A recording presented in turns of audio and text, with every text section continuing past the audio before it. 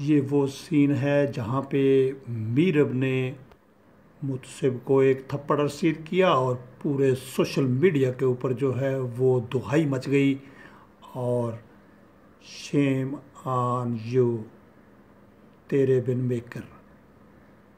तो बताना ये है कि ये उस वक़्त लोग कहाँ सोए हुए थे जब दो बार वज़ीर अजम तुम्हारी जो है बेनज़ीर बन गई तो उस वक़्त बड़ी बड़ी मूछों वाले यही दावा कर रहे थे कि तेरे वीर तुझ पे कुर्बान।